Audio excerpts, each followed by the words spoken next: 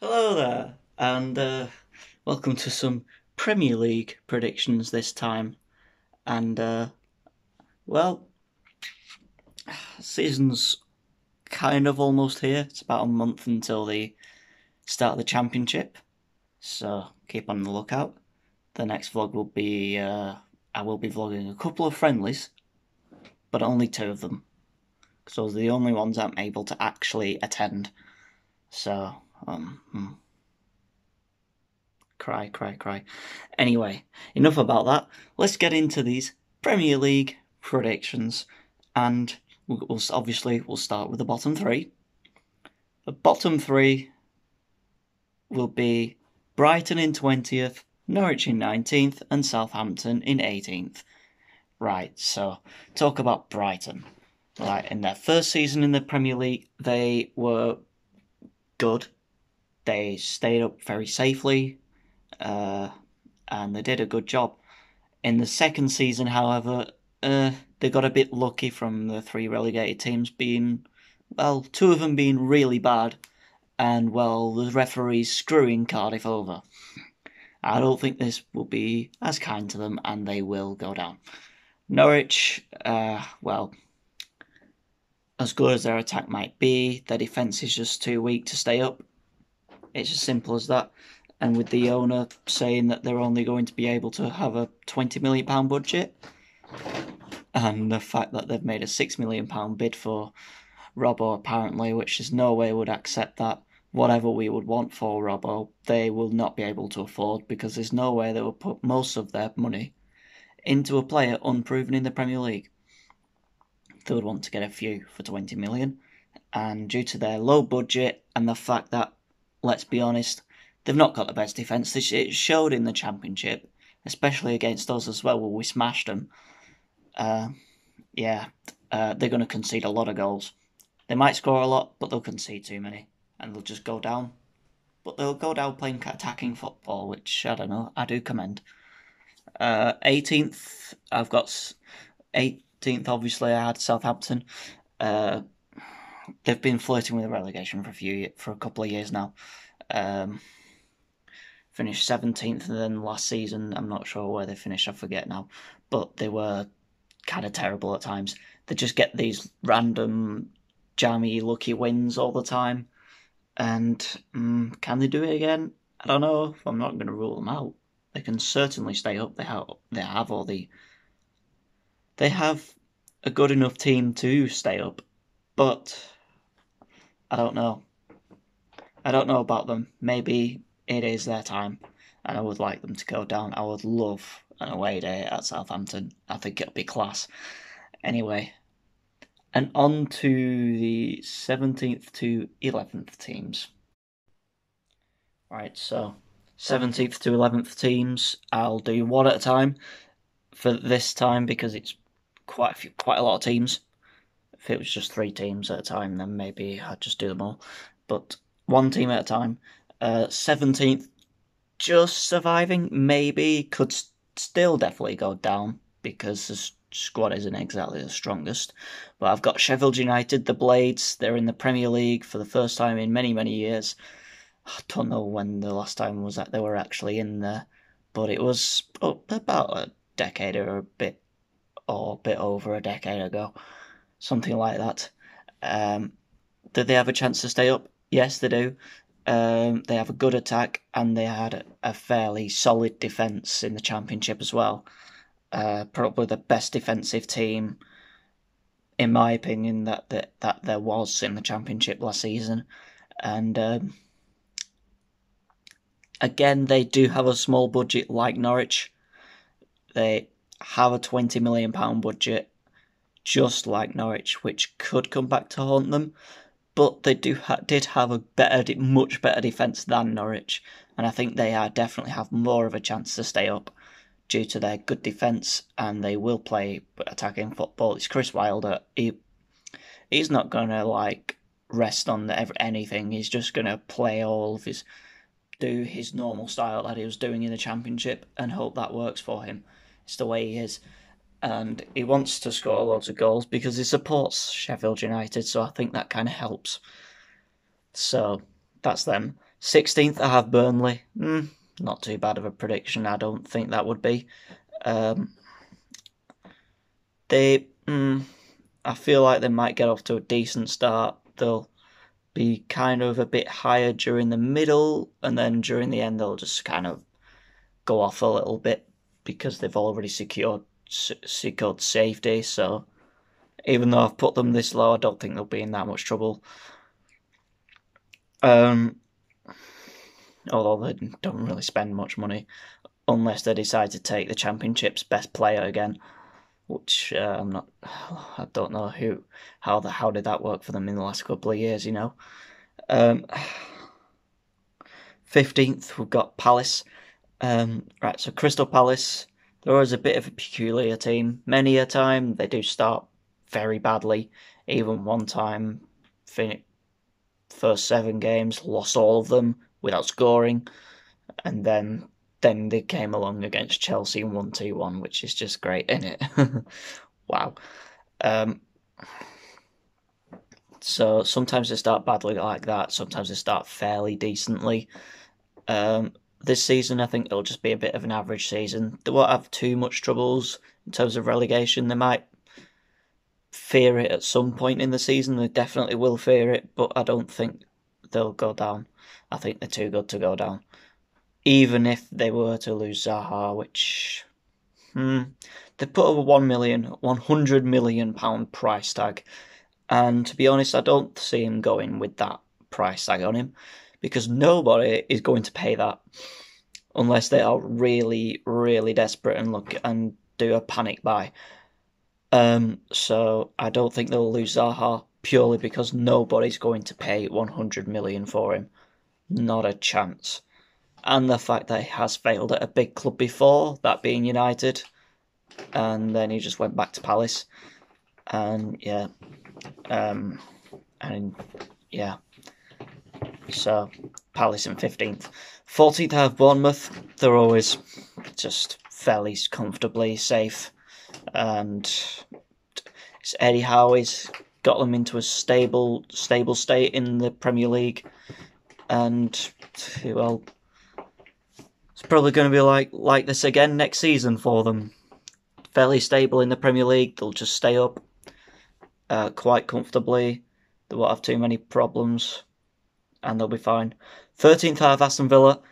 Um, probably the strongest promoted team that I could that I would think, despite being the one that went through the playoffs.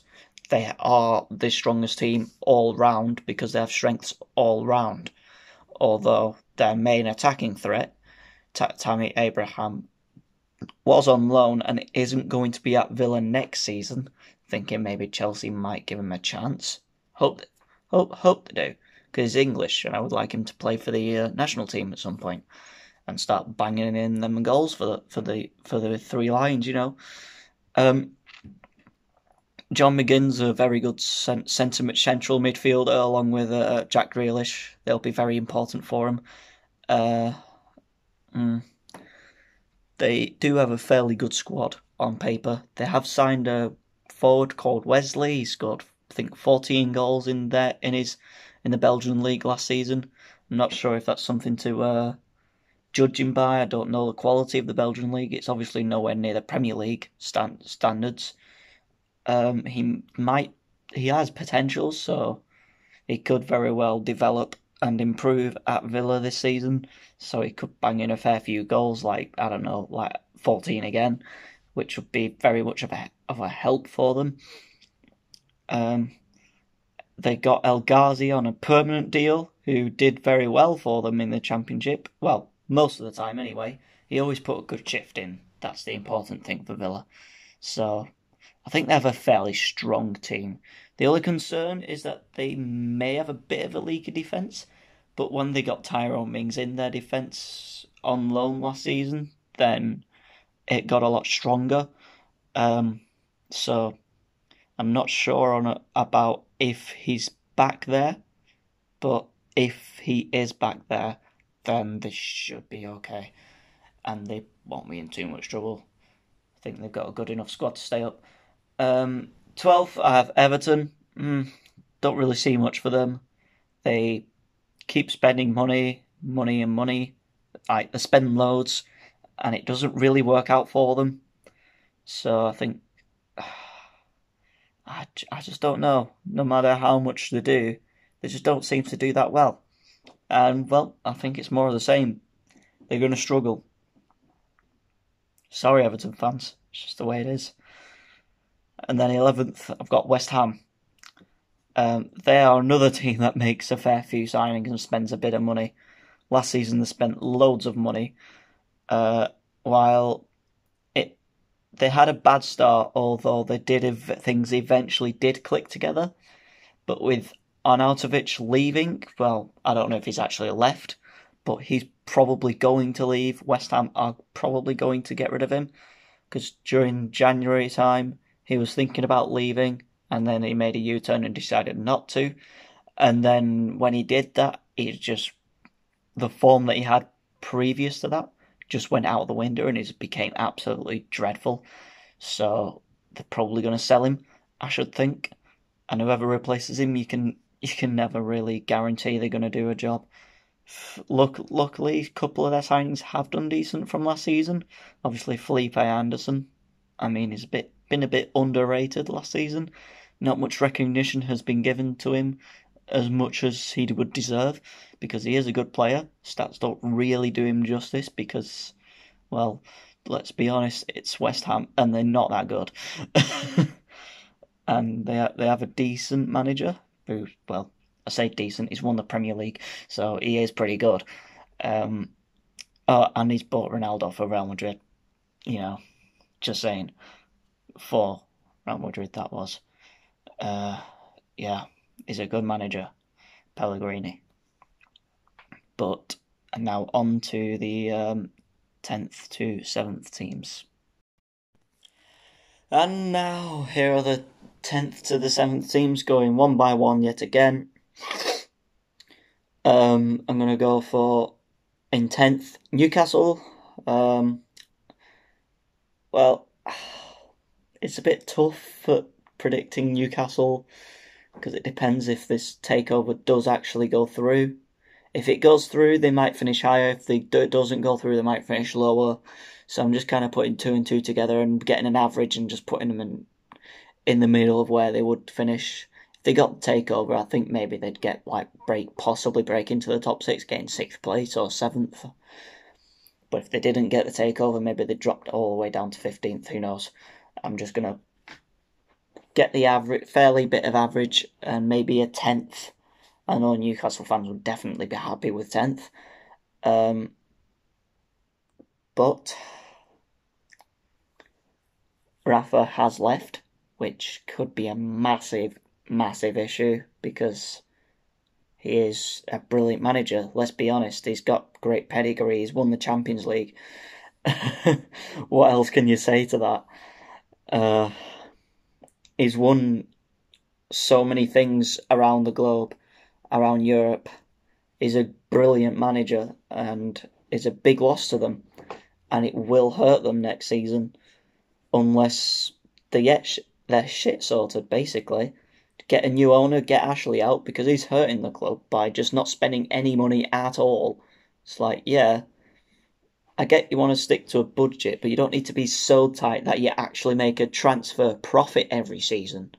Like, come on. There's no real need for that. It's not like you're exactly running out of money.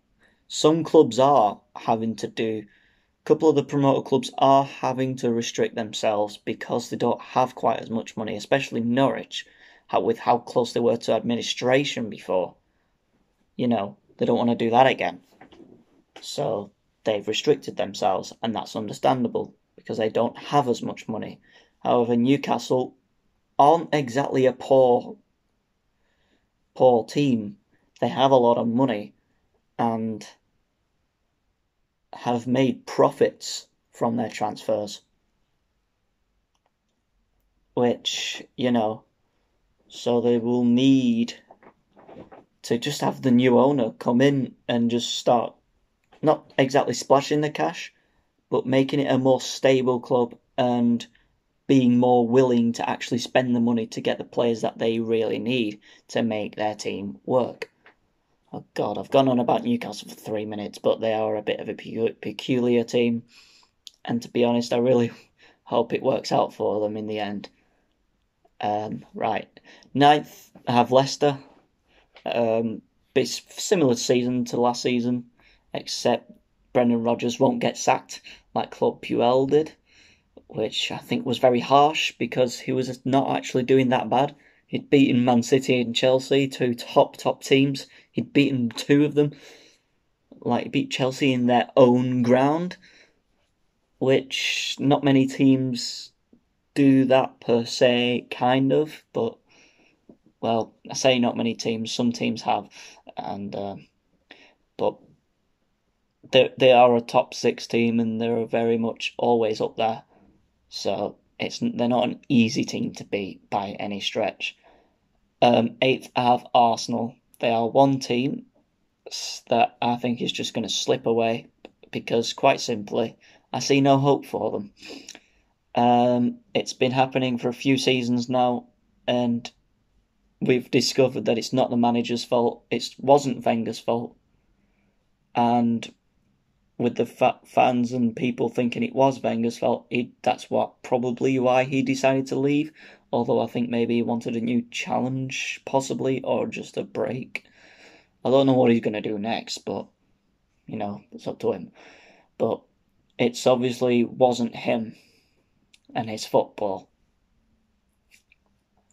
It was the owner not willing to spend money and they've only got a budget of 45 million and they're a team that's supposed to be going for the Champions League qualification and they're only having a budget of 45 million.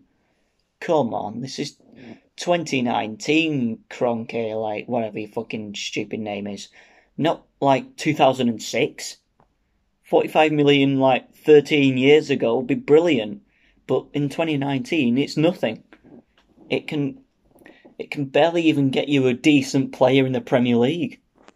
You know, it can, it can definitely get you a good player, but it can't get you much. It can only get you one player, just one. It can't even get them Wilfried Zaha, a player that they want.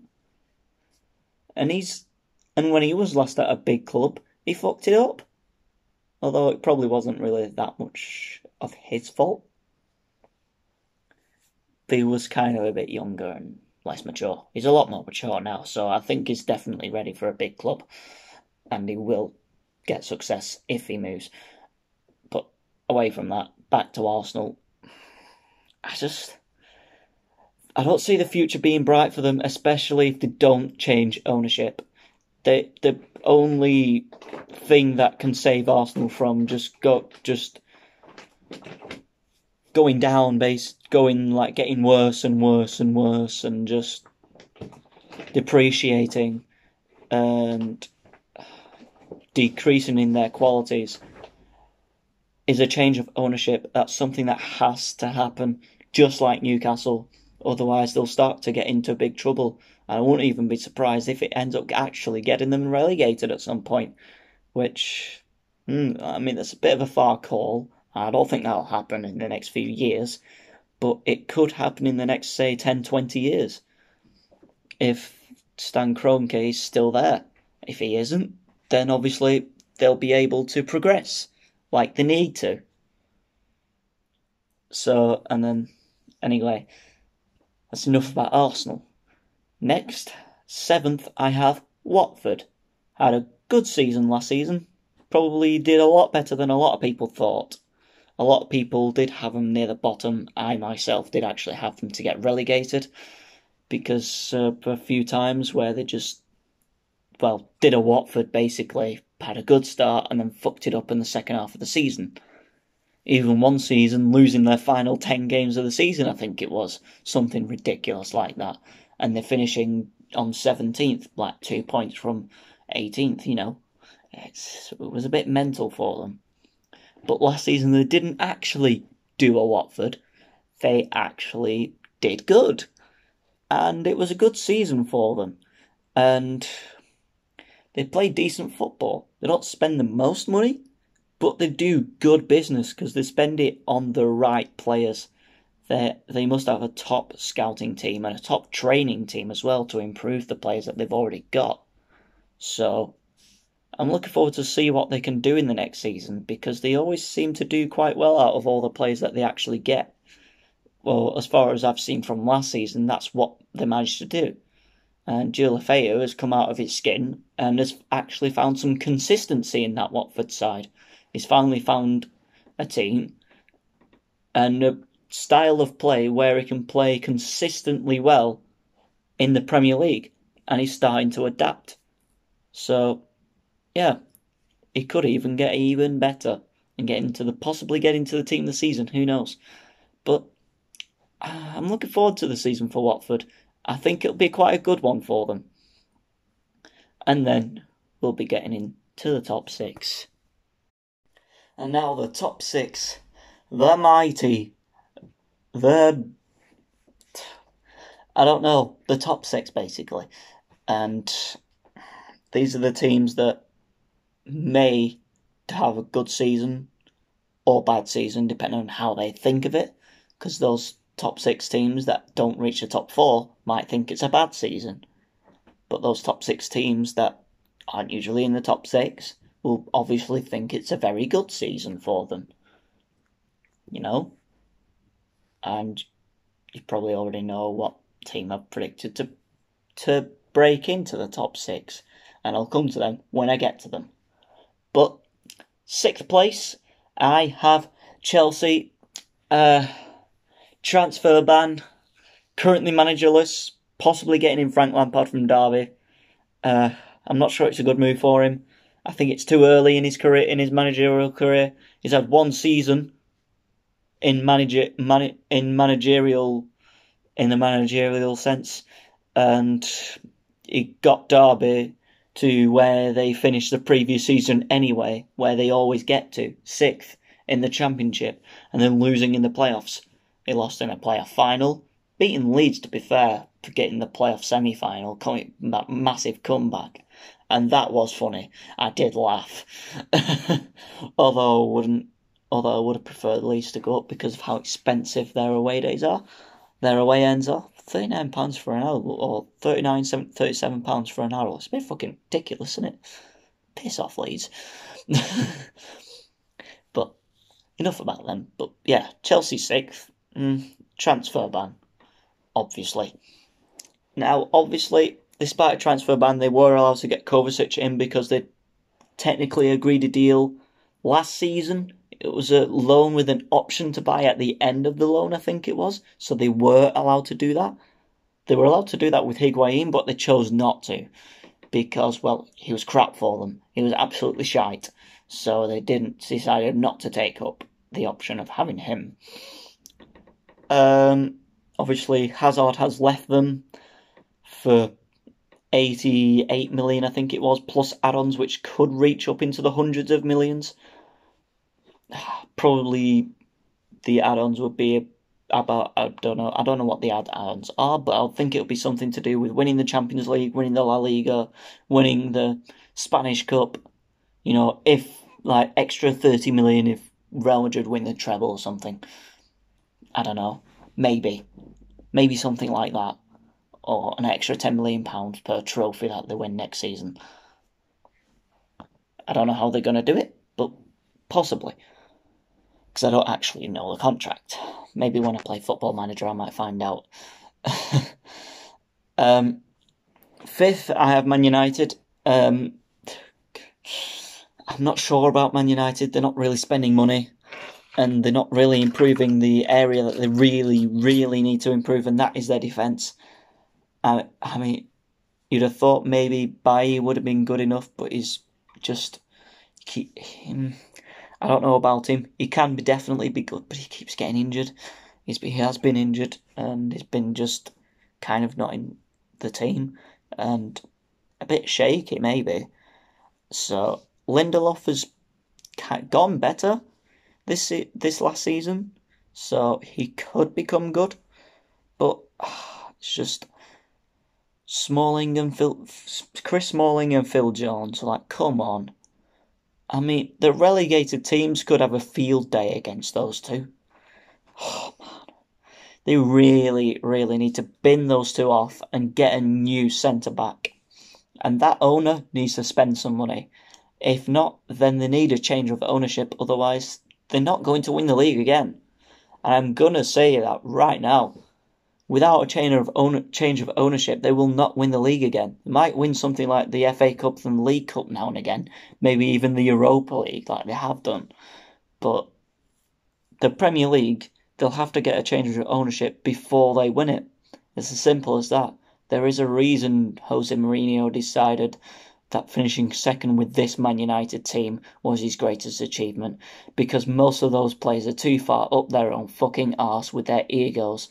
Like they just they care more about money than the actual team, and they played shite on purpose to get Mourinho out, which is a bit ridiculous. And now they just like Paul fucking Pogba, like come on, he's so far up his own arse. He thinks he's the best player in the world when really he's not. He's nowhere near. He's doesn't have the consistency and the work ethic to be the best. He's got the ability. He just doesn't use it.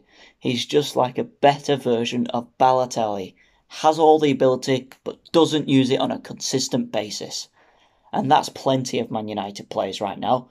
They have lots of players with great ability that don't always use it. And they just need to start using it, and they need a new owner to fix things. Otherwise, it'll forever be broken. Fourth, Have Wolverhampton Wanderers. Now, these are a team that have do have brilliant owners. They're not afraid to splash the cash, they've shown that. But they do it in a fairly clever way. They got, obviously, Jimenez is a player they got on loan last season who did do fairly well for them and I actually had him in my fantasy team from the start of the season, and I was quite lucky because he because I thought, well, I thought Wolves were going to have a good season, and I put Jimenez in my fantasy team because I thought, why not? He might have a good season, and it, well, he had a much better season than I thought he was. I didn't think he'd score as many goals and assist as many goals, but I think he's been involved in the Premier League. I think he's got 13 goals, something around seven assists maybe, so 20 goal involvements in the Premier League, which is very good for his first season in the Premier League, considering he's never really hit double figures. I don't think that's probably I think that's his most prolific season, his best ever season in terms of goals and assists ever for any of his teams. He's 27 now, but it's been a good good purchase from Wolves. They've got him on a permanent now, and that has been good. Obviously, Jota's started to adapt in the Premier League. It started fairly tough for him, but then he just adapted with ease halfway through, and he's become very good for them, and he will only get better. Um, Ruben Neves, obviously, we know how good he is. Um, I think it was it was a bit unlucky to maybe not reach the team of the season or get a team of the season card in FIFA because he was very good for them. He scored a couple of screamers here and there. I mean, he didn't really score that too many too many goals, but that's not the sort of player he is. He sort of helps in defence, helps in attack, and does all the passing and all that. Something like an Iniesta type player, or well, a player that won't get too many too involved in the in terms of goals and assists, but he's but without him, the team will crumble. Which so he's probably their most important player in the way that they actually play, and he's been very good.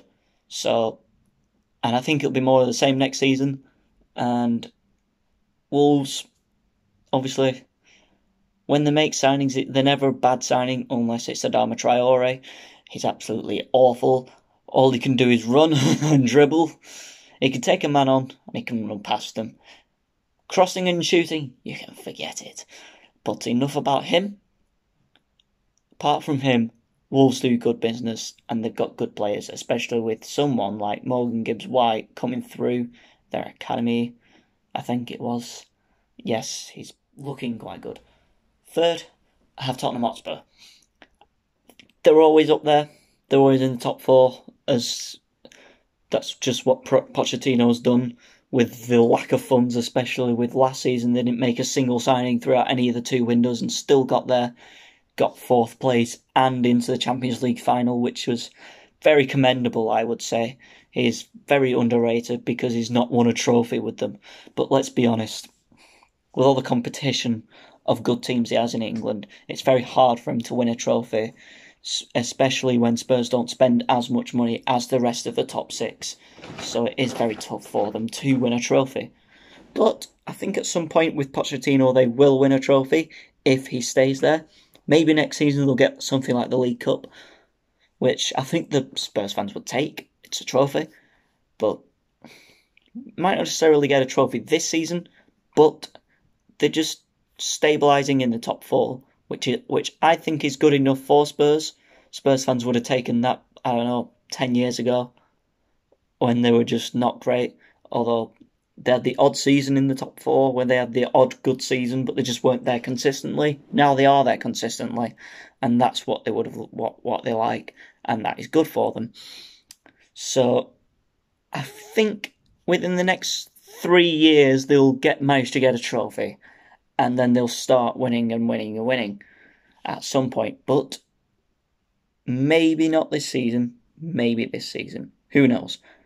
Now the top two, it's always a tough one especially with the two teams. Obviously, it's the same top two as last season, Man City and Liverpool, but just which way have I put them? Which way around have I decided to put them? Um, because they are two magnificent teams, 97 and 98 points. It's a bit ridiculous, isn't it? Like, they were just unreal. Liverpool only lost one game last season, but still didn't win the league. Just shows the strength of these two sides just shows it. Liverpool obviously winning the Champions League, which was massive for them. City obviously doing the domestic treble, which was also massive for them because they haven't done that before, which is very commendable. I know people say about, oh, they had an easy run, but you can only beat what's put in front of you. It's as simple as that. If you get drawn against an easy team, well, it's, it's not their fault that they got drawn against an easy team. It's the people that draw it. They drew the teams, they have to play it. Simple as that. It's not their fault. You can only beat what's put in front of you. And that's what they did. And they did it easily.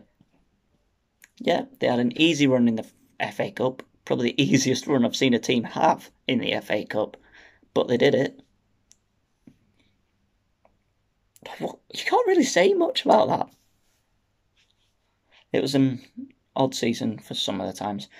But into the top two, and let's just say the way around I've put them, and I'm going to have good reasons for this. I've put Man City second, and the reason for that, I personally think they will concentrate more on the Champions League and they'll want to win that for the first time in their history. So I think maybe they'll slip behind in the Premier League title race. They won't exactly slip away completely, they'll still be in the fight, but they won't come out on top this time because they'll want they'll put everything into the Champions League. They'll want to win that for the first time ever. And then the following season, obviously, with the stuff that you can win afterwards with the Super Cup and the Club World Cup, they'll want that too. So it could be tough, but obviously they're, they're going to get a lot of points, just like Liverpool as well. Um, they'll both get at least 93 points each. Again, something like that. Um, maybe Man City will end up getting 94 points, even though set being second, and Liverpool finishing first. And I'm thinking Liverpool finish first because they will concentrate on the league. They haven't won it in 30 years, and they will want to win it again. So they're going to concentrate on the league, and they're going to try and win it. They'll slip behind in the Champions League, possibly. They might try and retain the Champions League. Who knows? They also have the Club World Cup to play, so and the Super Cup, so they do have some extra games, which could hurt them in terms of the Champions League. They may just want to concentrate on the Premier League and just win that for the first time in such a long, long time. And those are the reasons I've put that the two top two in that way, because quite simply, Liverpool need the Premier League, and Man City, they need the Champions League. It's as simple as that for their history to make more history between these two clubs. And to be honest, I see these two clubs being the dominant English clubs for quite some seasons now. Especially with Liverpool, they've now got good owners uh, and they've got a quality manager. Man City obviously have one of the best managers in the world, probably some of the best owners in the world. You know, so it's going to be an intriguing season and it's going to be a good title race. And who knows, maybe Man City will end up, I don't know, getting the quadruple that they've so thought about so much. Maybe they will. Who knows? But it would be very tough because it's just far too many games to do so. Pep thinks it won't happen because it is too many games. And I do agree with that. It is too many games. It's a lot of games, but it is doable if you make the strong the strong squad even stronger and deeper with even more quality players that they already have. so, who knows? It's an intriguing season, and I think it's going to be a good one. Sorry, it's been a bit long.